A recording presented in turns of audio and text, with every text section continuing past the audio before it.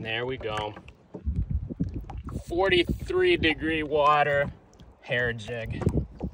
There we go.